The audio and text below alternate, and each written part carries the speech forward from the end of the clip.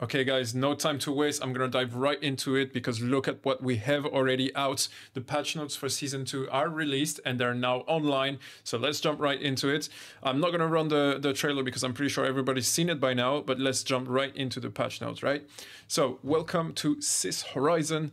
CNS has introduced a new map, Horizon. It's a glitchy, colorful cityscape that's partially loaded with floating geometric shapes. You'll have plenty to explore and a nighttime mode that glows under a neon sun. I don't know if you guys did did see the trailer, but just it, it looks absolutely incredible, insane.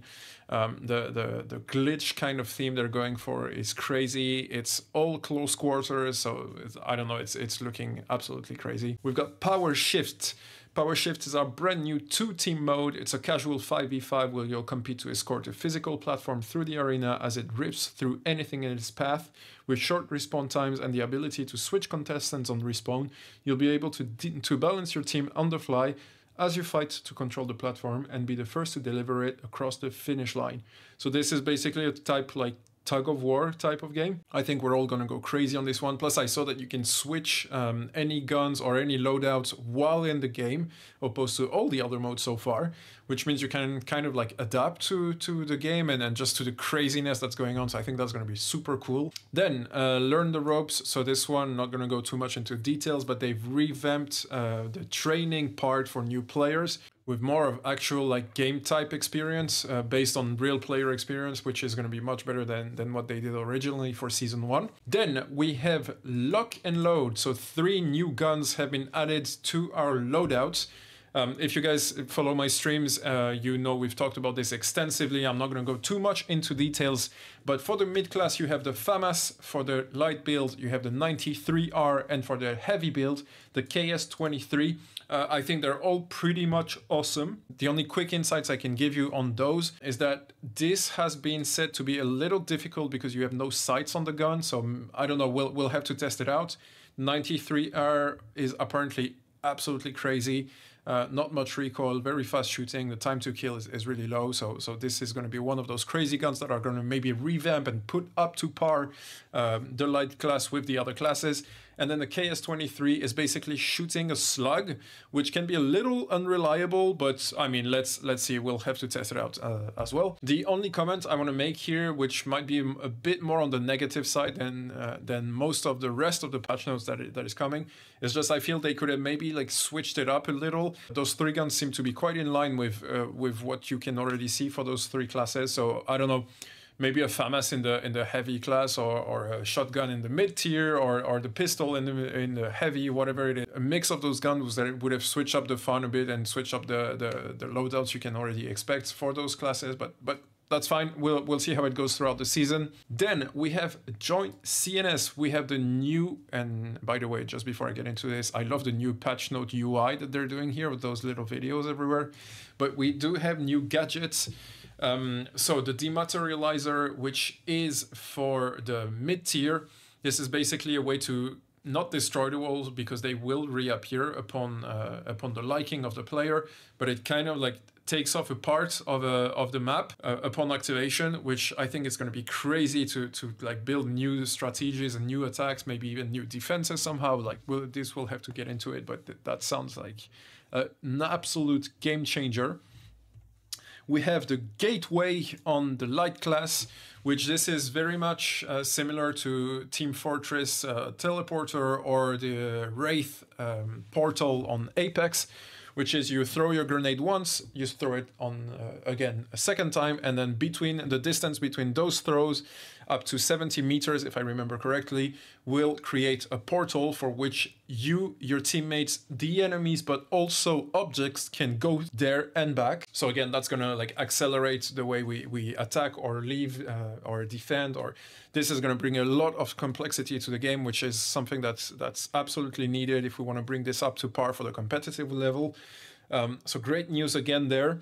And then for the heavy build, we have the anti-gravity cube, which from my understanding can move players and loose objects in a upward manner. I don't know about this. I'm, I'm quite excited to see how it works in game. I feel like it's a nice way to move the loadouts around, uh, maybe upper floor, like combo this with uh, maybe with the gateway or the dematerializer. Probably can build something absolutely crazy. So excited to see how that's going to go. And then finally, uh, probably my favorite out there, uh, the data reshaper. This basically enables the possibility to change objects, uh, grenades, active canisters or even active grenades. We i mentioned the grenades. So basically like just change the way things are set in the game instantly which is going to break defenses like break those mines that were were such a pain in the past.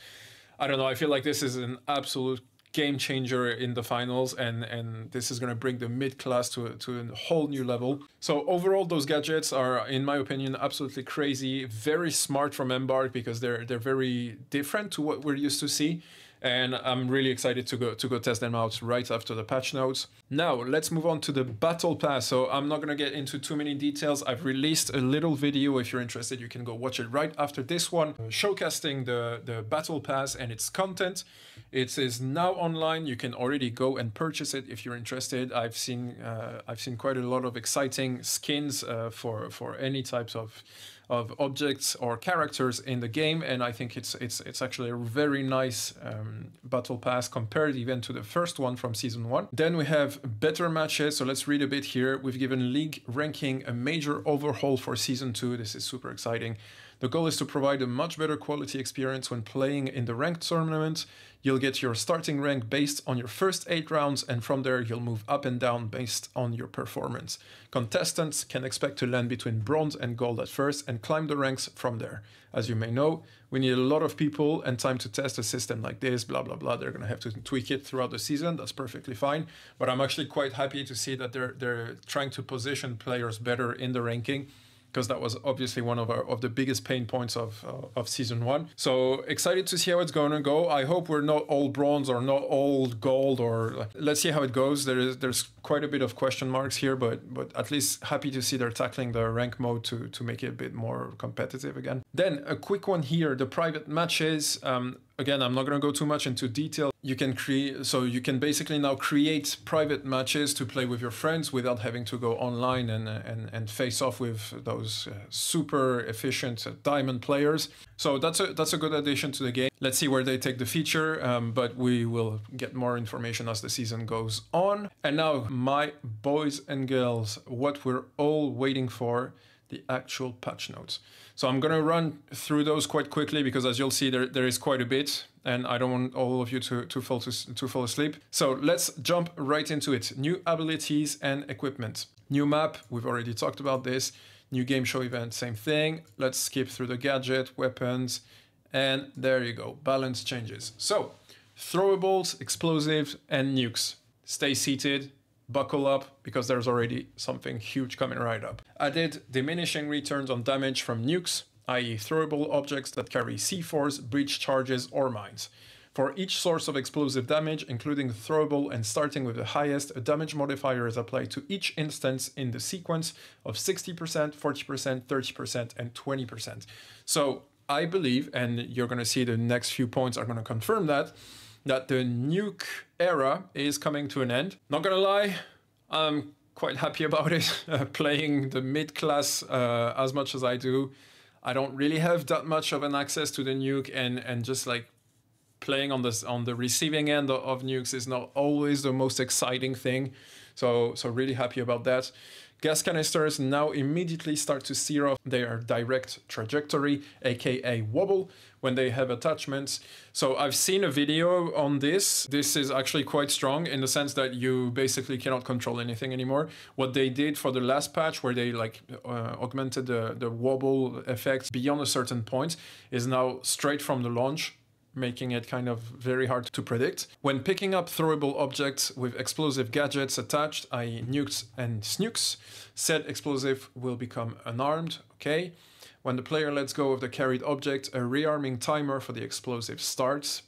Again, so to, to I think that what they're trying to do here is just make it more complicated to use and less efficient. The explosions from C4, breaching charges, and all mines that detonate while unprimed now deal 20% of their original damage. Again, trying to, to bring the end of the era for, for the explosives, which in my opinion is great. Um, it was just too specific to heavy builds. And while I, am not saying everything should be balanced out for, for every class, just having one class that had such an overwhelming power um, on, on top of the other classes just didn't feel right. Decrease the health value of propane gas tanks from 250 to 120. I'm not exactly sure why they're doing this. Maybe it's to make it easier to, to explode on while firing on them, but I mean, we'll see how that feels in the game. Fixed a bug with fuel barrels where they sometimes wouldn't ignite when taking damage, for example, from explosions or bullets. Dev comments and nukes were a hot button issue in Season 1. The previous tuning made nukes exceed the intended time to kill by a large margin. Since our initial changes weren't substantial enough to alter this tactic, we've added more ways to balance nukes moving forward. So again, I think they're, they're trying to stay politically correct, but what they're trying to say is they realized that nukes were becoming like far too meta and far too at the center of the game and that was probably not what they were going for initially for with the with the concept of like putting like sticking C4s to canisters. So they're they're just rolling this back as much as possible while leaving the possibility of doing it, but just making it less game breaking and less influential within the within the game itself. Then toxic gas added a delay to the application of damage. Damage will now start to take 0.5 seconds after the player enters the gas cloud. Added new functionality that causes damage to ramp up gradually over time from 30 HP to 60 HP over 2 seconds. Increased damage tick interval from 0.1 per tick to 0.3 uh, seconds per tick. Dev comment, we've always intended for the toxic gas to act as an area denials tool. However, because of its immediate high damage and quick dispersal, it has been far too potent. We've made changes to make toxic gas fit the original intention.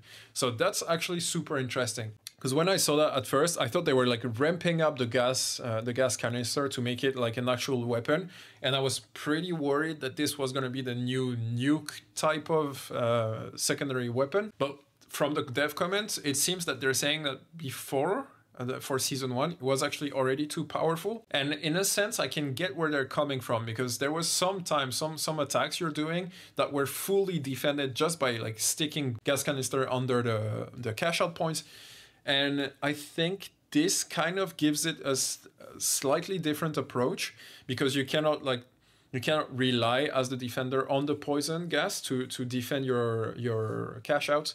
That being said, I'm curious to see how how it goes with when the once the HP counter is brought to the maximum because before you could you could at least maintain the player's health by healing him, making it possible to to actually steal a cash out. Um, now we're going to be passing that limit, which means that if you're under fire, it's probably going to be very difficult to stay alive. And I'm a little worried that this might make it counterproductive towards what they're saying. Um, so again, we'll we'll have to test it out, uh, but that's a huge change that we're gonna have to to start to learn to play with. Then for gadgets, the C4 uh, decreased ammo count from two to one. That's already huge. Decreased cooldown from 45 seconds to 30.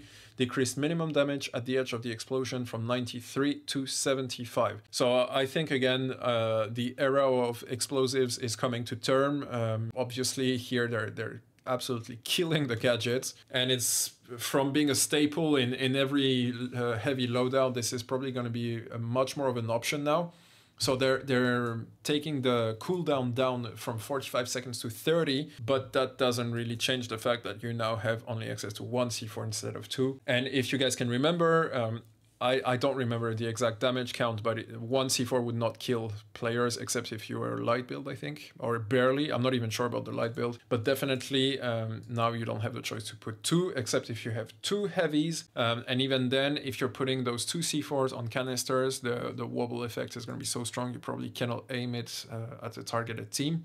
On top of that, and I'm not sure it's mentioned anywhere, so I'll, I'll, just say it quickly. I've seen videos where you can actually see that the C4X trigger is much slower to be activated than before. So you cannot like put your C4 in the canister, throw the canister, and straight away explode in the face of the enemy.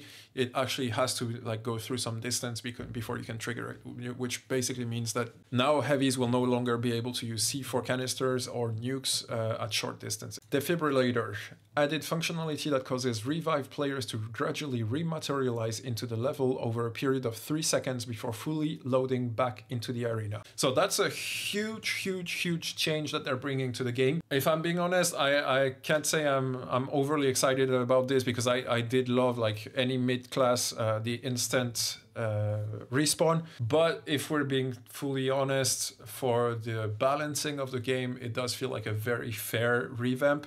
I'm just worried about the three seconds because that that is quite a long time when you're under pressure or in the middle of an action. But basically, the way it works is you can still trigger instantaneously your revive, but the the revive itself is going to take up to three seconds. So hopefully. Um, hopefully that's not going to break the speed of the game but uh, that feels like a fair fair update and will avoid the triple mid uh, meta that we saw for, for quite a long time on season 1. Increased charge up time from 06 to 08 and increased starting health from a defibrillator revive from 40% to 50. I, I don't know if that changes too much. 06 to 08 is, is quite short. I, I'm excited to test it out. I don't know if we'll feel it too much, but I mean, the, the big one is definitely this one for sure. Then the dome shield decreased maximum duration from 20 to 12 seconds. So that's actually funny. Um, I did in the back of my mind, I don't know if, uh, about you guys, but it did feel in the back of my mind sometimes that if you're not shooting the dome down, it's just gonna stay there forever. And now that I see the 20 seconds, it kind of like makes me realize why this felt this way. So I'm I'm quite happy to see they're putting it down to 12 seconds, meaning you don't like you won't actually have to focus on destroying the dome in every single case.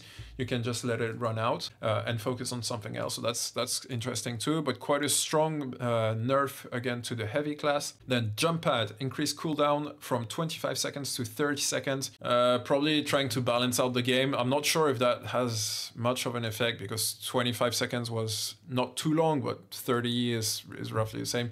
I don't know. I'll, I'll see how it goes. The thing is, I'm not sure if this is a smart idea because I think jump pads are a great addition to the game, and the fact that they can be used infinitely by your team but also by the enemy team means that this this wasn't an OP uh, gadget in my opinion, and it brings access to the verticality of the game, which just increases the speed of things. I don't know. I feel like this this wasn't fully necessary.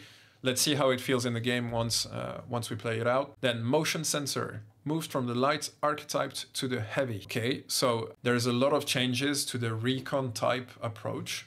Actually, even mid tier is being completely removed from any type of, of sensor, which why not? But I'm not exactly sure what that's gonna have in terms of effect in the game.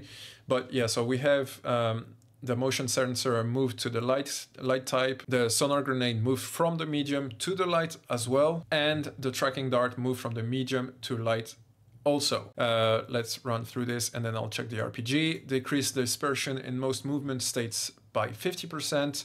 Increase accuracy by decreasing dart dispersion while aiming down sights from 30 to 10% and added force feedbacks for controller. Okay, that's I think what they're trying to do here is to actually make the tracking dart viable. I'm still not sure if that's going to change much because I don't think it was the effects of the tracking dart that were wrong. It's more like the, the time it takes you to actually like track a person and then shoot him that doesn't feel like it, it grants much uh, even if you can see him through walls i don't know. Um, at high level and high speed intensity i'm not sure if this is still uh, any good but maybe with the speed of light bills maybe that brings something so i don't know. We'll have to see, to see how it feels as well. Uh, back to the rpg fixed an issue that made dispersion almost identical regardless of what state the player was in. I'm not exactly sure what they mean by what state the player was in so I, am not sure what they're referring to here, but let's let's leave it for now. Increased projectile dispersion in all non-aiming states. So again, I think that's that's similar approach, but I, I I don't know what they mean by those states. Reduced projectile dispersion when aiming down sights. Okay. Increased zoom in time from 02 to 04, increased equip time from 045 to 05, and increased in equip time from 03 to 04. So again, um, similar as with the C4 approach, they're trying to kill explosives and and any source of explosives visibly. So just uh, this is probably gonna make it feel much slower, much like harder to you know like to move around. So yeah, probably putting this back uh, in the cupboard. Then what do we have? Then we have the Vanishing Bomb, increased grace period on teammates from 0.75 to 125. That is actually a big, big increase increase total cloaked duration on teammates from 6 to 7.5, and increase to total cloaked duration on the user from 5 to 6 seconds. So they're actually putting the Vanishing Bomb at the center of the meta from what I see because that those three combined are a big ramp up for the Vanishing Bomb. And if we're being completely honest, it did feel a bit difficult to use, especially on your teammates uh, in Season 1 because to calibrate exactly when to use it while you have the chance to, to hit uh, your entire team was a bit difficult uh, seeing the speed of the game. So maybe increasing by by 1.5 seconds for the for the teammates is a is a good way to go. Again, we'll have to see in game. Then specializations, recon senses removed for assessment. I think that's great. Uh, this was a very weird gadget to be in the game. We've concluded that recon senses have been detrimental to the game at large and have decided to put it out of play for now. The specialization may return in some new form down the line, but only after a major rework. I think we're not going to be seeing it for, for, for quite a while, if if not ever. I don't really see how how this can bring any real value to the game. Like seeing through walls is just weird. Sometimes you know, I'm sure every one of you guys have felt it, but like you just like you're going into somewhere and the guy already knows you're coming in you just get smacked before you've even passed the door just doesn't feel right so i think that's a great thing I just hope we'll have something to to compensate. Fair, the mid class seems quite strong for for season two, so I'm sure it will be fine. But yeah, I think that's a great thing. Then mesh shield increase cooldown on a fully depleted shield from 12 seconds to 15 seconds, and increase starting health after full depletion from 200 to 250 making it stronger. I think that's a great thing. The, the heavy build is going to need some defenses, especially with the new gadgets. Weapons AKM decreased damage fall off minimum range from 35 to 30, decreased damage fall off max range from 40 to 37.5, decreased damage fall off modifier at max range from 67 to 55%. I'm actually quite curious as to why they're buffing the AKM that much. Probably people were going for the FCAR um, far more than the AK, but I think it was a question of positioning. Like the the AK had more bullets, but just a little less. Uh, sorry, a little more recoil. The FCAR had more precision, but you did lose quite a bit of bullets. So I I don't know if it was worth ramping it up that much, but uh, I don't know. That's that sounds exciting. I'm actually really excited to test it out if it feels like the FCAR failed for season one, but on top of having the bullets, that, that's going to be a very strong gun. And the FCAR as well is getting a buff, uh, decreased damage fall off modifier at max range from 67% to 55%. Same thing, I'm very curious as to why the FCAR is getting a buff was already a very good gun. Um, as an FCAR user, I, I, cannot lie, I'm, I'm pretty excited to test this out in game. And plus, I've, I've seen uh, really good feedback on the FCAR for the season two. So yeah, this is probably going to make the FCAR at the center of the meta. Uh, I would at least expect that um, for the mid build. Then Lewis gun, updated weapon recoil pattern to be slightly less accurate over time during sustained firing. This is great because there was another problem with season one is that the heavy build was just far too strong strong on the attack side, considering the tank aspect of the heavy build, which is supposed to be defensive. Um, we actually had a long period, uh, if not till the end of season one, where heavy class was destroying players. I've seen 50 kills on a single on a single guy in, in some games. So I don't know. This this feels kind of fair to me. I know most of you heavy players are gonna are gonna quite complain about this one because it is one of those staple guns of the class. Let's see in game how much more recoil we're getting. But this, in my own own self opinion, this feels like a, a fair nerf to the gun. Then the M11 increased accuracy by decreasing bullet dispersion from firing from the hip. Fair enough.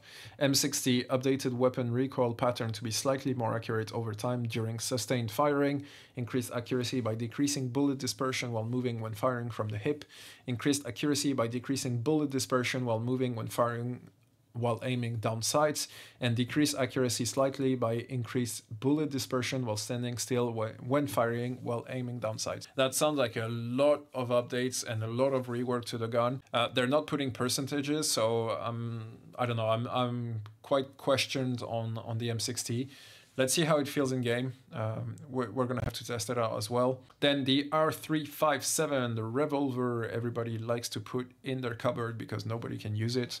Increased damage fall off modifier at max range from 33% to 45%. That makes it far stronger. That's a 12% increase in, in damage at max range. Um, not gonna lie, that, that is a very big buff. Um, that being said, I still feel like the gun is quite difficult to use. There is, from my tests, and you've seen it in one of my videos in the past, um, there is no recoil depending on the speed at which you fire, which that is quite a unique characteristic to the gun. So maybe with the uh, ramped up damage at max range, this becomes some kind of like unique one shot sniper type approach. So let's see. I don't know. I hope it will be an option one day. If not yet, it's probably they seem to be buffing it as much as they can as the time as the weeks go by. So let's see where they're going with this. But it could be a it could become soon a, a good option for for the mid class. Then throwing knives increased projectile speed from 100 meters per second to 138 meters per second. Uh, I don't know about this. I know the throwing knives were not used by basically anyone. I don't know if it was because of the speed of the projectiles. I, I feel like those unique players that mastered that type of weapon wouldn't be complaining about the speed. I'm, I'm not sure. Like I, I haven't played it much, so I, I don't want to give a, an opinion that would be biased.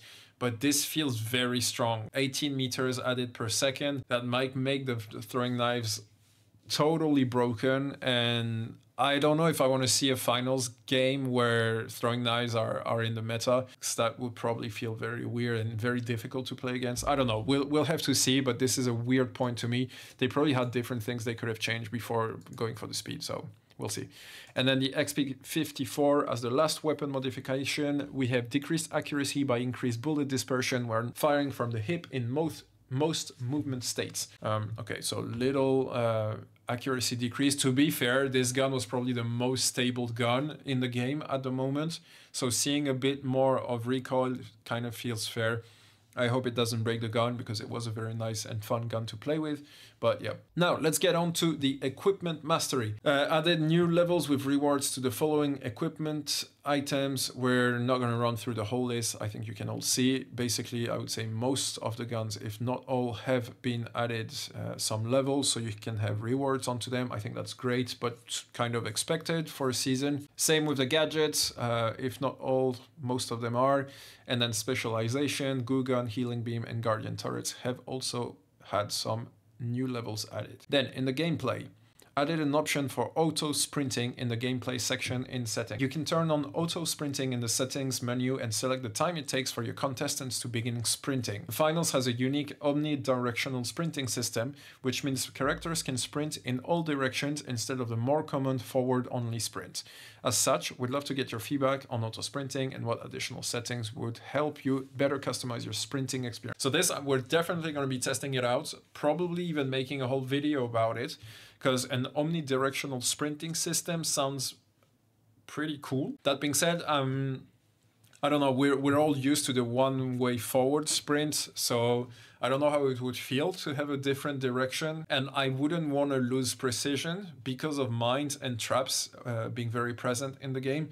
You wouldn't want to, like, you know, like just barely touching your, your sprint movement uh, or direction and suddenly like going too fast into something you're not controlling. So we'll have to check it out. They do say you can, uh, you can personalize the time before it starts sprinting. But then again, um, that feels like a very game design type of intel that most players wouldn't have, as in like, is one second too long? You know, or is it far too slow? Is 0.1 second far too fast? Like it's it's quite difficult to tweak, but I'm not going to complain with more added customization because that's that just gives a better player experience. So we'll have to test it out, um, and I'll probably make some kind of like tips uh, video once I have had the chance to test it. So please don't miss it. Um, keep the notification button on. And then let's move on. The preview arc for grenade now shows where they will detonate in their trajectory. That is absolutely awesome. We will now not only know exactly where the grenade is going to go, but we'll it also shows a little indicator of an explosion where on the on the trajectory it's exactly going to explode.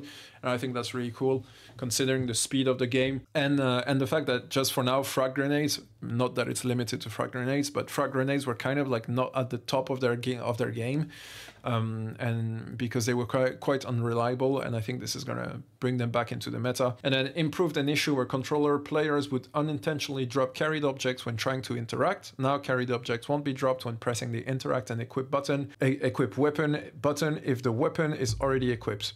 Good. Bug fixes. General fixed an issue where the scoreboard would not show the potential score for transfer in progress. Haven't seen that happen, but I guess it's, it's good. Fixed an issue with flamethrower kills sometimes being attributed as self-elimination due to the flamethrower user being eliminated. Good. That would probably be very raging as a flamethrower user uh, if you don't get your, your kills counted for you. Then fixed dome and mesh shield not blocking projectile and explosions correctly. This again, I'm quite surprised to see that. I, I have not had the issue in season one, but definitely a good thing. Um, if there was this bug, it should be it should be fixed. You need to be able to rely on your on your shield. Fix broken interactions on the crane. Um, here again, not too precise as to what they mean by broken interaction. Is it like the climbing that was a bit dodgy when you were on the on the crane, or is it like the top highest part of the crane that has holes but you can't climb through them. Um, not sure yet. We'll, we'll, have to test that out. Fixed an issue that allowed players to steal objectives through floors and walls. That has actually happened to me a couple of times and it is very weird. So I'm, I'm so happy they, they were aware of it and already fixed it because the I mean it breaks the whole concept of defending your point when you're suddenly getting robbed through a wall and you cannot attack the guy because you don't even know that he's here. Fixed an issue with where flashbang effect effects were not shown for a spectating player, fixed an issue where explosive objects attached to another object would fall off if the primary object was destroyed. The explosive objects attached will now also take appropriate damage in the situation, okay?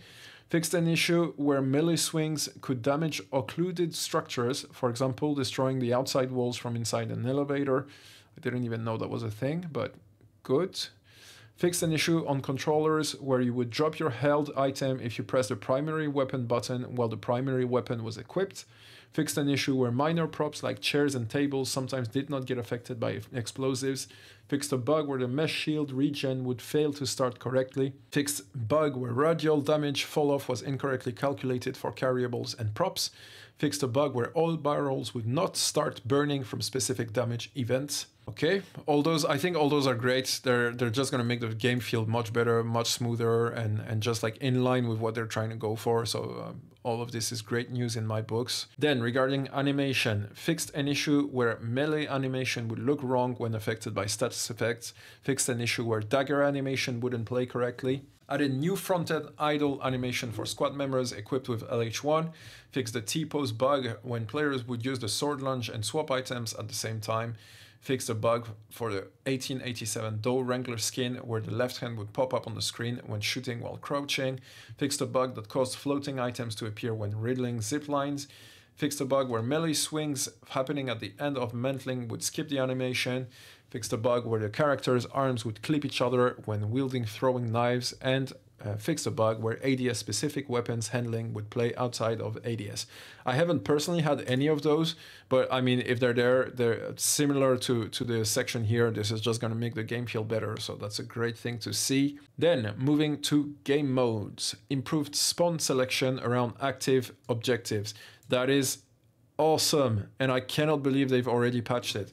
It was becoming a bit of, an, of a problem um, if you've played the game enough you know where the spawns are and if you know where the spawns are some of them on specific points around i would say any map to be fair you could kind of anticipate where the players are were going to be and start like preparing the attack even before they came in since you can see the timer of the respawn so this this just felt a bit unfair for the responding teams this is i think is a great addition.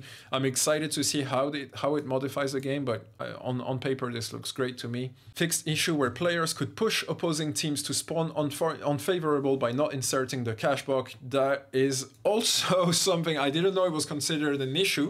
I've used it myself where I would tell my teammates just wait for them to respawn before you put it in because if you don't, they would uh, basically the respawn would be different depending of who, on whether the cash in the cash out was in or not. So I guess that's that's a good thing. That's a technique we're gonna have to remove our of our books if they consider it an issue. Then fix for case where two squads spawning at the same frame could use the same spawn points.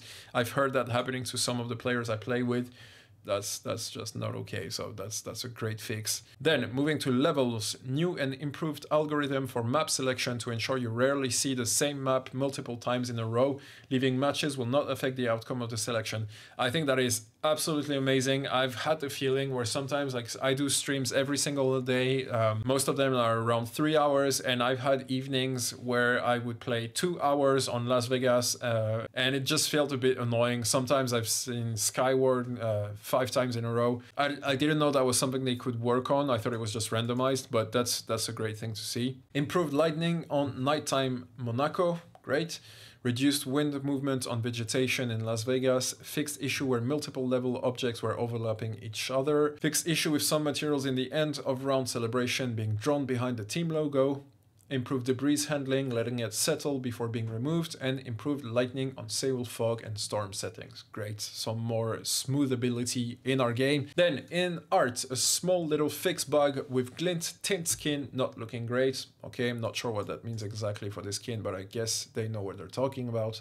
And then audio, added voice lines for reloading, improved footsteps audio for players using pistols, fixed a bug where objective pings would not play the correct audio, fixed a bug where match commentary would play in the practice range, and added sounds for squad mate down and the last player standing. I think this plus this is great. This I'm a little perplexed. I hope it doesn't completely make the pistol OP because if if by wielding a pistol you can kind of like hear everybody all around the map or, or to whatever extent of the distance is, that would make it a little broken. So we'll we'll have to see, but let's hope it's not too much. It is fair that some pistols are quite loud, so they probably like ramped it up a little. I don't know. We'll have to see. And then finally, the UI UX player cards are introduced in the finals. These will be generated from your character customization and your chosen intro animation. Added the final spinner to previously black screens when loading. Added new item gadget tutorial videos. Improved camera placement and framing for charms fixed so that your squad is center in the tournament lineup intros and outros. That's great because sometimes it was just weird. Improved respawn timer feedback on teammate icons and improved feedback on the press start respawn mechanics. Awesome. A lot of good little things, but a ton of good big things as well. Um, I don't know what you guys think. I'd love to hear your comments. Uh, so please don't hesitate to go down in the comment section to discuss this. But in any case, don't hesitate to come join us just to have an overall chat about the the entire season two, what we're going to have to to be playing with, the changes, the updates, the new maps, the new modes. Um, it's all open for debates. I'm very excited to hear what you guys have to say about it. I hope you enjoyed this video, and the only thing that remains to be said is that I will see you on the next one.